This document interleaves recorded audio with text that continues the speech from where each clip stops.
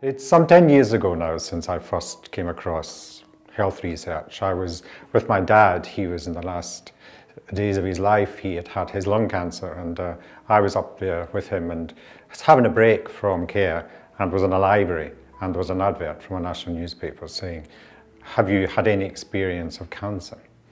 And I've, in my family, had quite a lot of experience of cancer. And eventually I kind of pecked up to myself and I thought, well, why don't you respond to that advert? And before I knew it, I was being invited into this wonderful world of health research.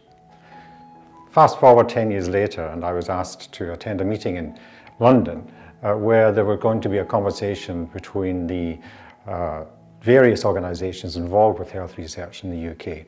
That was the National Institute of Health Research, uh, where I was being invited from, and also the Health Research Authority, various other regulatory agencies, and also, most importantly, the Care Quality Commission.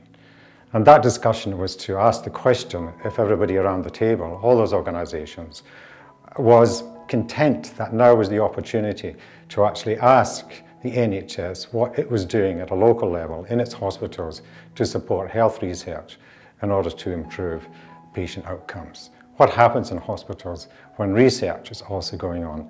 What difference does it make to the health opportunities for people who are coming there, like my children, like my family, when you go to your local hospital? How can you be sure that the best health care is being provided?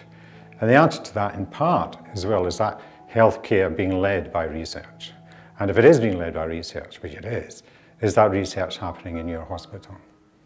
And what was really quite extraordinary about that meeting as well was the way in which the patients had been involved from the very beginning each organisation had been asked to ensure that their voice was to be expressed by having a patient, a carer, a member of the public with experience of health in their own families to come along and add their weight to the request to the CQC to actually begin to ask hospitals what is going on in relation to health research at your hospital. We have this word co-production, which becomes a bit of a buzzword, it's a word which is easily used. The co-production really is where you have the experience that I had in the board when eventually uh, the organisations agreed that we should move towards creating an inspection regime for healthcare uh, research in the NHS. And over the next few months, in fact it became a year in the end, I travelled around the UK attending various hospitals to do with research, uh, attending conferences to do with research, and being asked as a patient carer to actually explain why it was that this organisation, the NIHR, was asking the CQC, in fact, to inspect the NHS to another extent. And it's been a terrific experience. And what it has done is that it illustrates just how research, when it's done properly, is a collaborative relationship.